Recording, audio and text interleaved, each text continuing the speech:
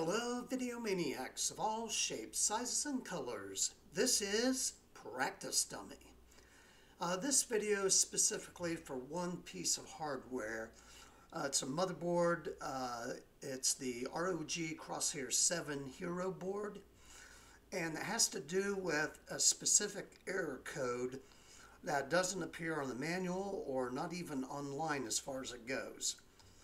Now I'll go ahead and describe the whole condition here. Um, there's an LED display shows a two-digit code on the upper right part of the motherboard where I got my cursor going in circles around. And it displayed the error code 27.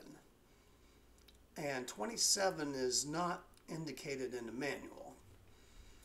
And it also had a beep code that goes with it. Uh, it's one long and two short beeps, and it repeats. After several seconds, the beeping stops and the LED displays a small O and a large uh, capital D on the error code. And that's it. There's no display coming from uh, monitors. And after um, stumbling around about it, I discovered in the end that it was my video card not being completely seated in the slot. I had the thumb screws in place, had it in there, and thought I had it in there where it clicked, but apparently not. It was just unseated enough to where it didn't have the proper connection on there. Once I put in the video card, make sure it was seated correctly and firmly, I no longer had the problem. Everything was running fine.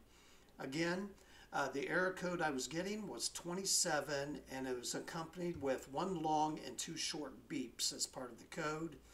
After several seconds, then the LED display showed a small O, large D, and the beeping stopped.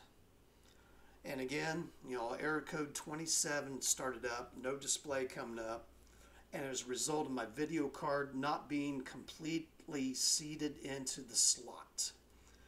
So I hope this helps you out for those that have the ROG Crosshair 7 Hero motherboard and you'd be able to get it up and going and able to enjoy this overkill of a motherboard. Take care one and all and God bless you.